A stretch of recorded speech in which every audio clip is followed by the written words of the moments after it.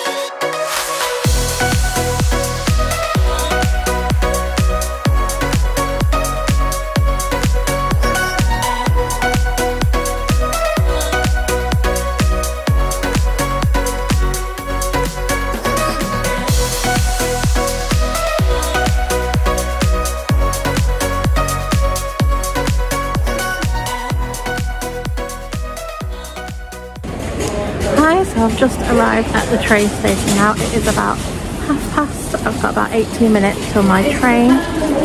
And today I'm actually not in platform 14, I'm platform 4. So that makes a change. So I'll probably get back to you now once I'm on the train. Okay, so it's now 10 minutes till my train. So I'm on platform 4. Train's here, so I'm going to head in.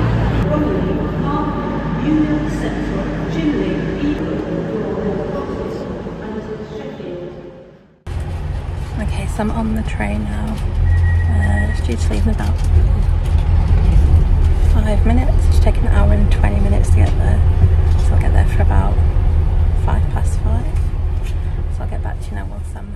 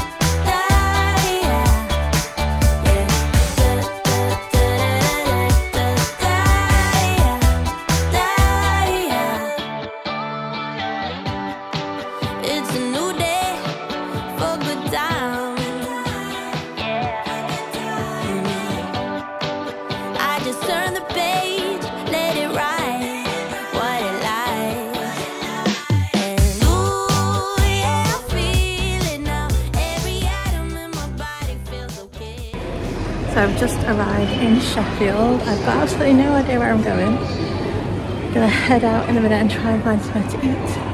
And my brother should get here at five past six and I'll meet him and he knows his way around then. So yeah, I'll get back to you in a bit.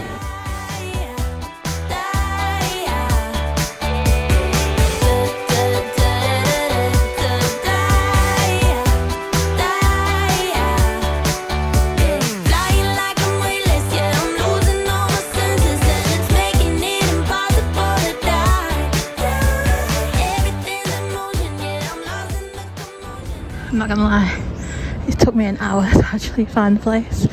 Now I finally found the Wetherspoons. I've only actually got half an hour to get food now, so let's hope the food comes quick. So I'm in the Wetherspoons now, I think it's called the Banker's Draft. Just got what I usually get, chicken burger and chips and a drink. It is now nearly six o'clock, so half an hour before I need to head to the theatre. Um, my brother gets his train in five minutes and yeah, it took me an hour to find this place, an hour. My brother said it's literally a 10 minute walk up a road, so yeah, I'm no good at following maps. But anyway,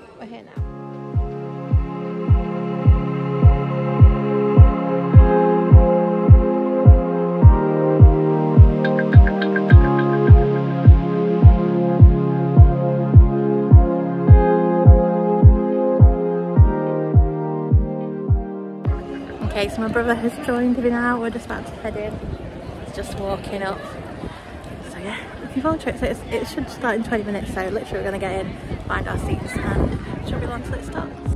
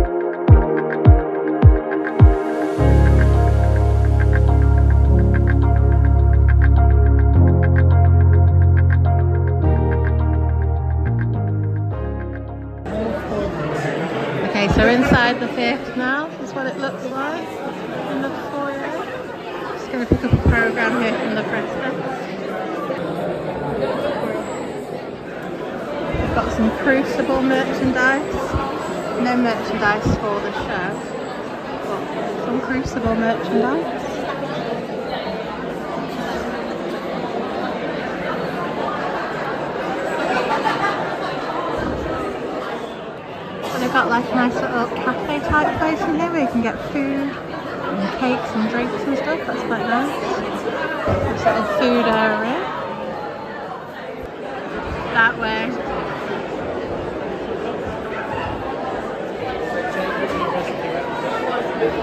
Okay, so we're heading to the purple door, which is apparently around this way.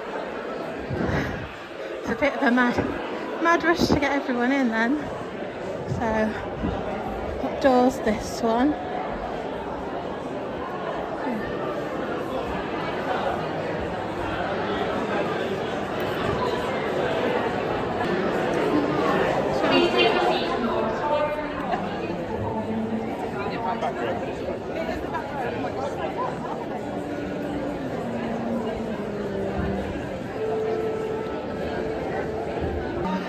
We're on road D 17 18. This is our seats.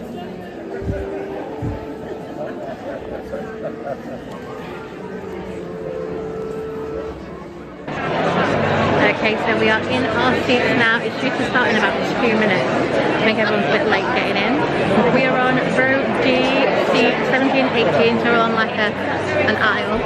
And our view's really, really good. I'll just show you the view and then I'll get back to you at the interval. Okay, so this is our view from our seat.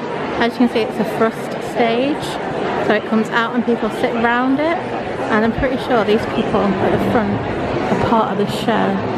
They're just slowly coming out from uh, down here and they're sitting around so I'm pretty sure they're going to be part of the show. So anyway, it should start in about two minutes and I'll get back to you in the interval.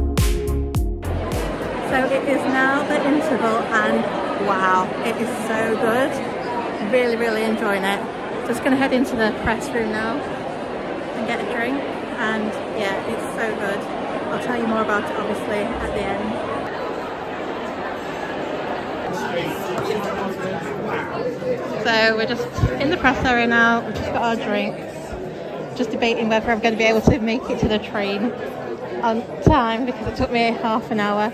Andrew said it only took me 10, 5 minutes, you say? He said 5. But yeah, I'm going to drink my drink and then we'll head back. Okay, so the interval is over. Heading back to our seats now. Next um, part is only an hour, So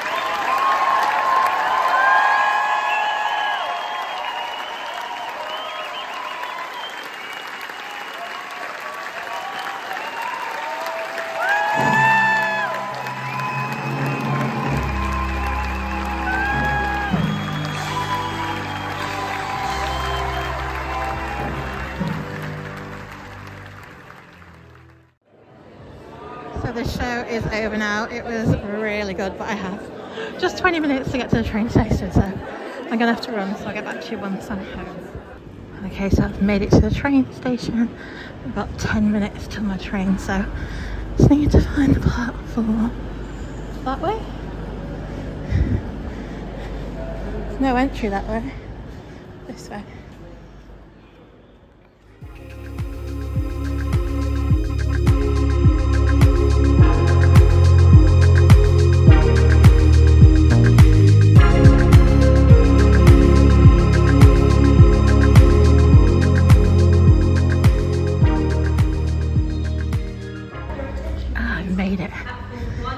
Think I was going to make it.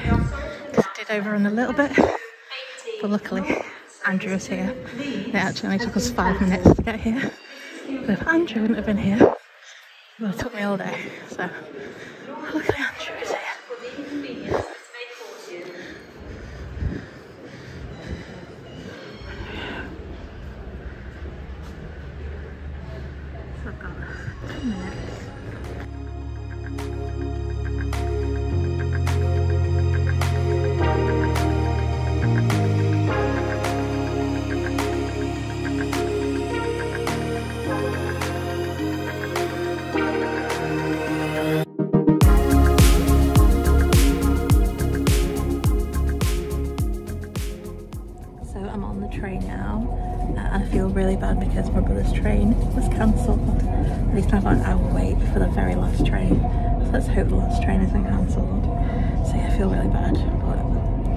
couldn't get on this one because you can only get northern trains and this is a cross country train. So I had to leave him because I couldn't I couldn't wait for the next one.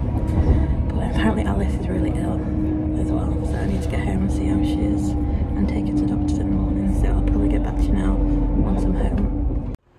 So I'm back in Manchester now. It's 10 past 11. I need to go and run and get the tram. So I'm at the tram station now. My tram's due in four minutes, so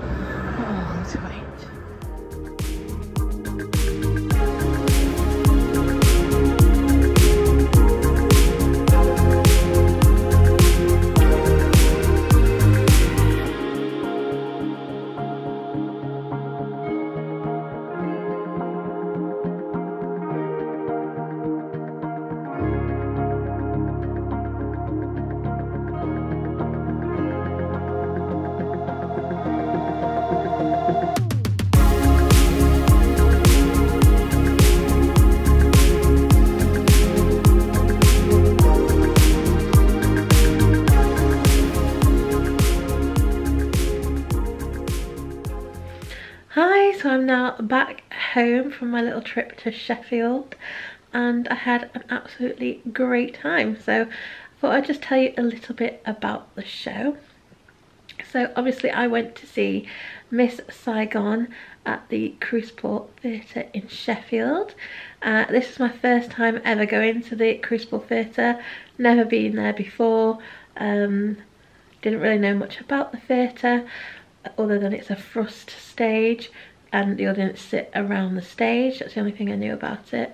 And um, yeah, it was. it's a lovely theatre, I have to say, it's a really nice venue if you can get to it uh, for a show definitely do because it's a it's a really lovely theatre so for this show I was sat on row D seat 18 which was the end of a row which was perfect for me especially since I had to rush to get the train at the end uh, but my view was excellent I think the way the theatre is set out um, like you sat around and it goes up it's only one tiered it's not like several tiers uh, I think you get quite a good view from wherever you're sat.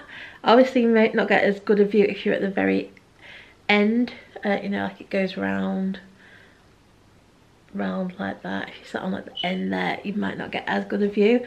So yeah, our view was absolutely excellent, uh, really comfortable as well.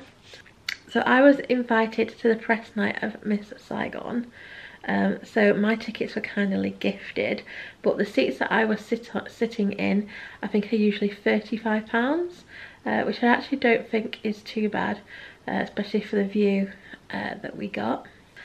Uh, there wasn't any merch for the show. I didn't think there would be with it like being a new show. I don't think there would be any merch, but the Crucible Theatre do sell their own merch. They sell merch for the Crucible Theatre. I think they had like notebooks, pens, mugs, things like that. So they had all those on sale. I didn't buy anything, but the pens were nice. I was tempted by a pen because uh, I love stationery. Uh, in the theatre they also have like a little cafe there. Um, so if you get there before the show starts, there's a little cafe and they do sell some hot foods I could see uh, and cakes and stuff like that. So there is a little cafe in there if you do get there early and you want food. I didn't realise that so I went to uh, Wetherspoons for food but if I'd known I could have gone in earlier and got food I probably would have just got food there, it might have been easier. Um, so yeah, I know that for next time. So when we did come into the theatre, it did take quite a while to get everyone in.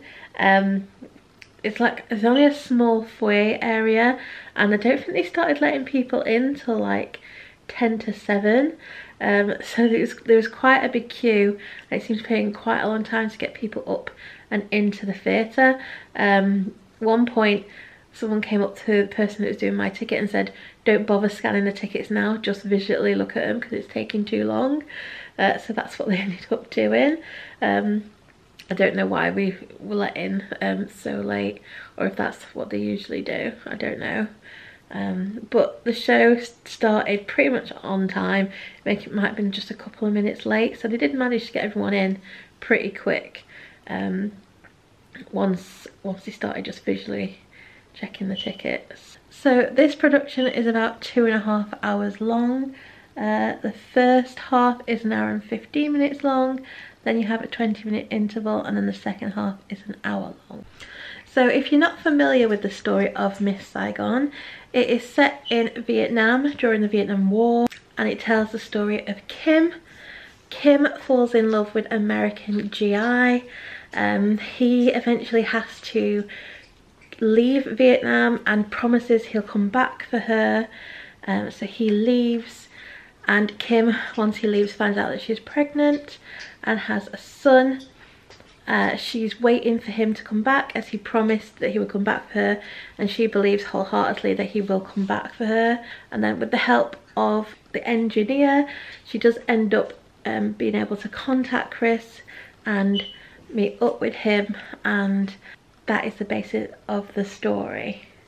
So it's basically a love story it does end in tragedy, but I don't want to give away the ending in case you haven't seen it. Um, it is also loosely based on Madame Butterfly, so if you've seen that opera, you may know the story of, of this, because like I say, it is loosely based on that. So that is the story. So obviously this production of Miss Saigon is not a replica production.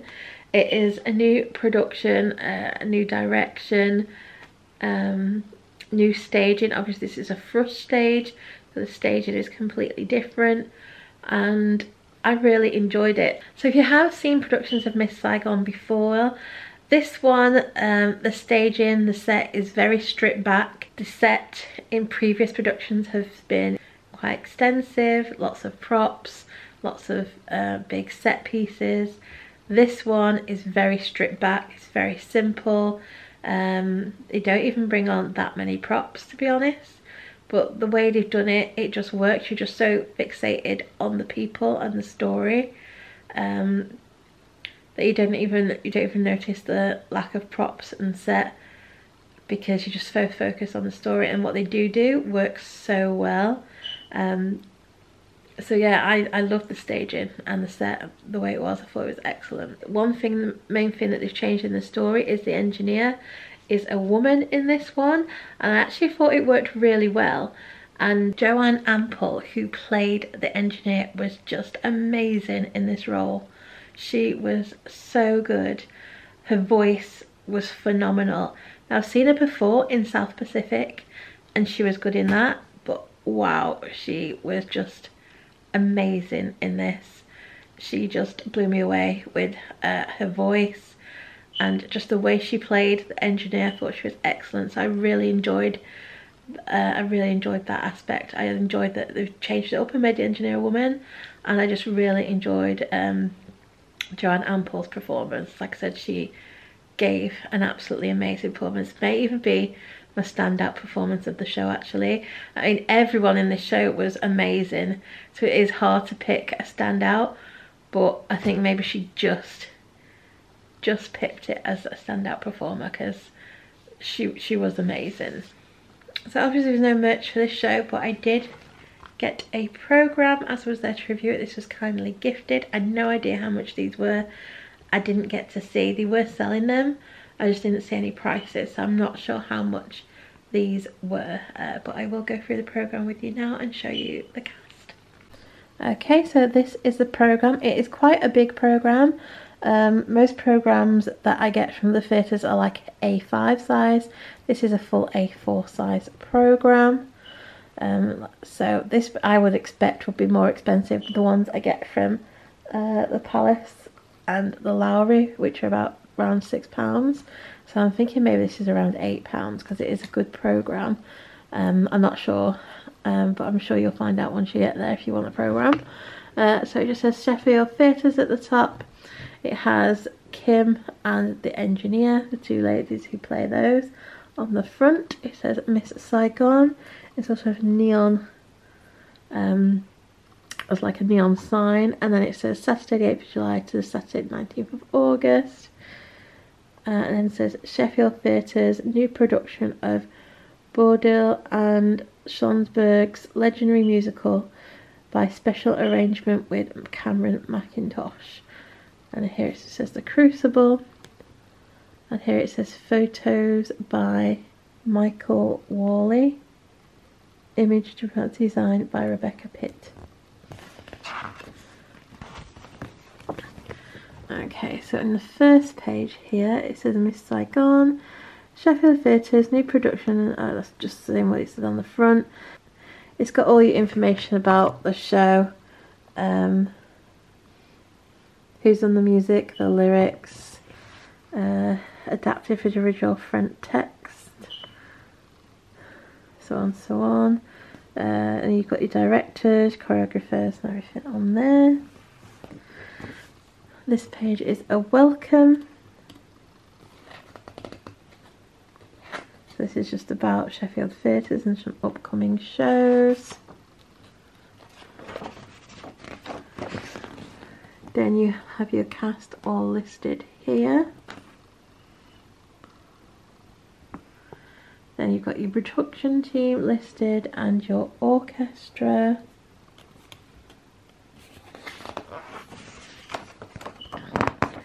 This page you have your musical numbers. So in Act 1 you've got the overture slash backstage at Dreamland. You've got the heat is on in Saigon, the movie In My Mind, The Transaction, Kim and Chris Dance, Why God Why, This Money's Yours, Sun and Moon, Dragons, Telephone Sequence, The Deal, The Wedding, Boys Intervention, Last Night of the World, The Morning of the Dragon, I Still Believe, Coo-Coo Princess, You Will Not Touch Him, If You Want to Die in Bed, Kim an Engineer, and I'd Give My Life for You. That's Act 1. So then in Act 2, you've got Intricate, I think it says, Boudoir, The Revelation, Bangkok, Too Much for One Heart, Chris is Here, Kim's Nightmare, Sun and Moon Reprise, Room, Maybe, The Confrontation, Paper Dragons, The American Dream, and Little God of My Heart. So those are all the musical numbers. Then you have some rehearsal uh, shots in here. True, true, Trong testimonial. So it says, Du Tru Trong worked as an interpreter and liaison between Vietnamese forces and American intelligence until the fall of Saigon. Unable to live safely under the new communist regime, he and his family joined thousands of uh, citizens attempting to escape from Vietnam by sea in the late 1970s. His son Ethan, a small child at the time, recently encouraged his father to write down what he remembered about his chapter in their family history. These are Joy True Trong's own words taken from a letter to Ethan. So we've got that in there.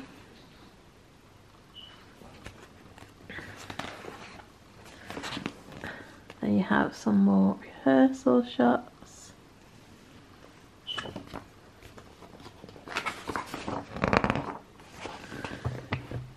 You have an interview. This is here. We caught up with the designer Ben Stones, lighting designer Jessica Hung Han Yu, and video and animators designer Andrzej Goulding, talk design and Miss Saigon. So here you go, let's interview with those. Some more rehearsal shots and then you have your cast biographies. So as I mentioned earlier, Joanna Ampil played the engineer. Like I said, she was absolutely amazing. Um, she was in the uh, tour of South Pacific, I think that was last year. Um, so I saw her in that tour and again she was excellent in that but um, outstanding in this. Her performance in this is just something else. She was so good in this. Um, she's also been in other things. She's been in Miss Saigon before. She's been Jesus Christ Superstar, Les Mis. She's done a lot, a lot of work, and she's amazing. Playing Mimi slash alternate Kim is Desmonda Cathabel. I have to say, I'm sorry for pronouncing any names wrong. I'm really bad at pronouncing names. Playing a GI is Adam Colbeck Dunn. Uh, another GI is Andrew Davison. Davison. Playing Gigi was Anrad Ferrer. So playing Ellen was Shanay Holmes and I have to say Shanay's version of Maybe was absolutely gorgeous. It was so moving, she put so much emotion into it. It was such a beautiful, beautiful song and I lo just loved the way she did it. Um, yeah, so she was she was really, really good again. So she has previously been in Get Up Stand Up, the Bob, Bob Marley musical. She's been in Thriller Live, she's been in The Bodyguard, so she's done a lot of big theatre shows.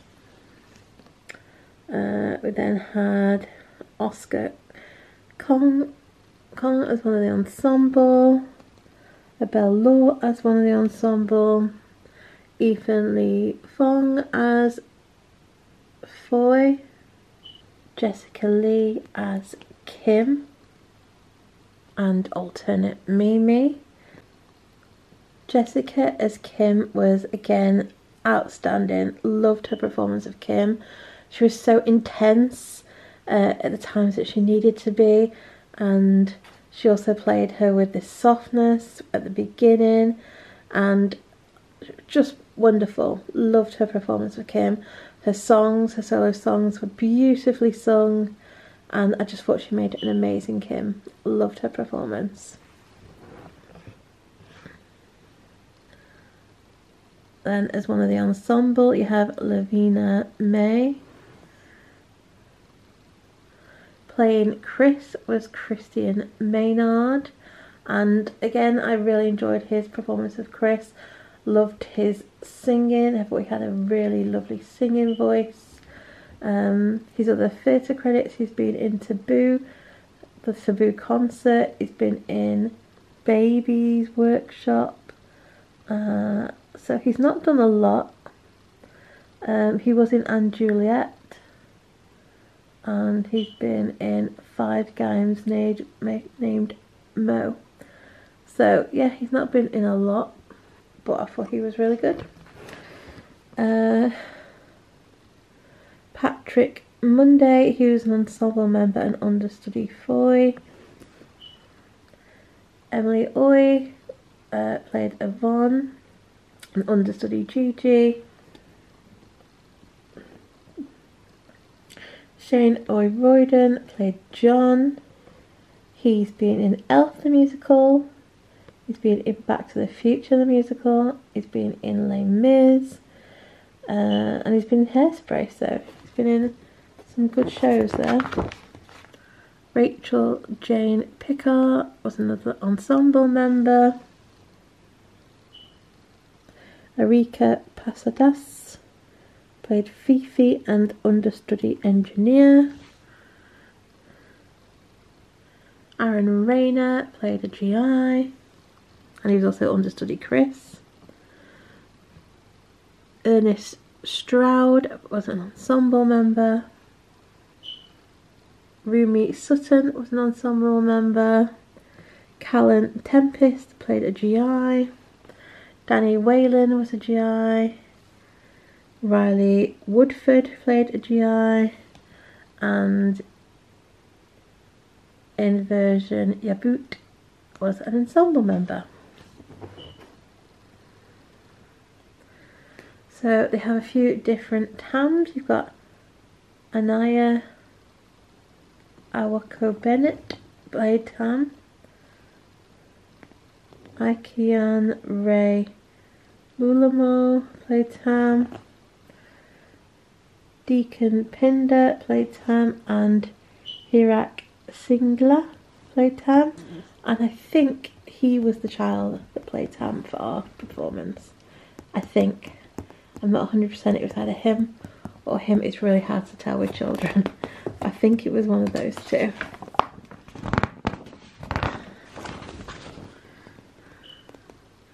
And here you have the creatives biographies, another um, rehearsal shot, some more rehearsal shot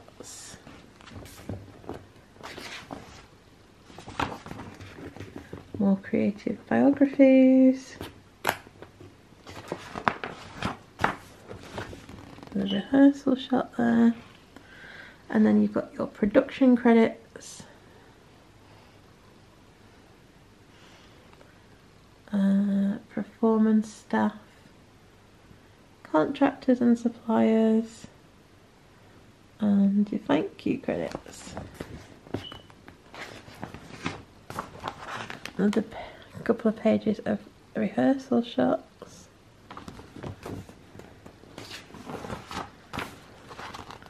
More rehearsal shots. Advert for an upcoming production.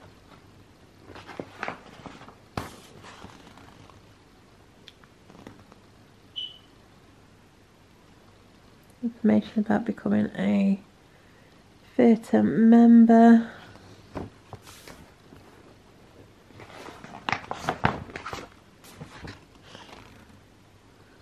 Staff at the Crucible and then you've got an advert for White Christmas which is the Christmas show at the Crucible. And that is your programme. I think that was a really good programme. There's some articles in there, uh, really good uh, cast biographies. Uh, the paper's nice and thick and also shiny. Um, so yeah, I think that's a really good quality programme. So yeah, like I said, I really, really enjoyed this show. So did my brother. Um, the vocal talent in this show is just excellent, absolutely amazing. And I gave this show five stars because it's definitely the best show that I've seen so far this year. 100% this is the best one that I've seen. Um, I really enjoyed some of the, the, direction they did, they took on this, um, the changes, I thought some of them worked really well. Um, and yeah, I just had a great time at the theatre and I fully, fully enjoyed it. I know some people don't like Miss Saigon. So the source material for Miss Saigon does come under a lot of criticism. Now I do think this production has sort of addressed some of the criticism, um, maybe not all of it. Um, I suggest you see it and see what you think. Personally, I, I still really enjoyed the show um, and I do, I do recommend it. So yeah, I hope you have enjoyed this little theatre vlog and review. If you do enjoy theatre vlogs, then please do subscribe and hit the notification bell um, so that you'll be notified as soon as my next one goes up. So like I said, I hope you've enjoyed this one. If you have, please give it a like. Don't forget to subscribe and I hope to see you again soon. Bye.